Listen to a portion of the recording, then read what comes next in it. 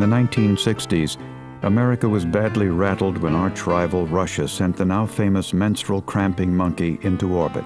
Shortly thereafter, a small group of male menstrual cramp sufferers within America's budding space program became determined to beat Russia to a cure through a top secret mission called the Sagittarius Project.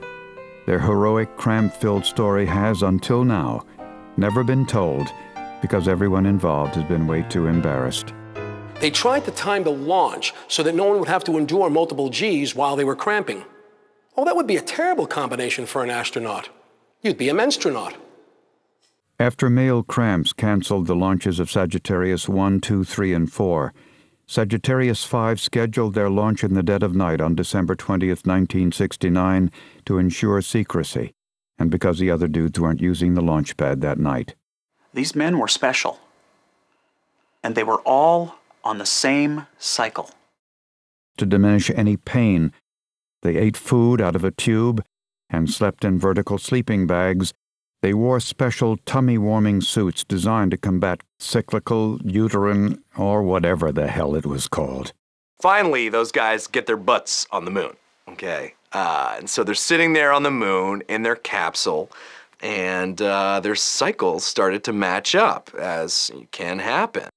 The zero gravity completely cured their cramps leading them to decide to take a little unscheduled stroll on the surface of the moon. So they're sitting there in their capsule on the moon trying to figure out who's going to go out and, you know, do the walk. In the spirit of the late 60s, they removed their suits and were planning to frolic around nude on the moon when tragedy struck.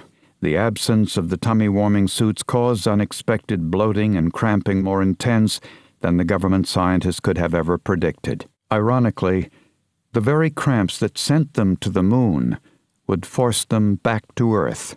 So they're sitting there in their capsule on the moon, and they began cramping and crying. And as you know, when you're in a space capsule, there is no gravity, very little gravity on the moon. Their tears went into the electronic equipment.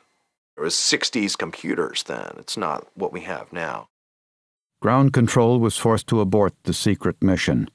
All records of the failed mission were erased and the crew was asked to keep their whiny, crampy mouths shut, or else. The space agency officially abandoned their quest for a cramps cure, refocusing on other stuff like controlling the weather, blowing up giant meteors, and grooming a monkey to run for president. What will we remember about America? Well, in the end, I think it's three things. Baseball is one, Jazz, the only true American art form, is another. And the Great Chicago Fire.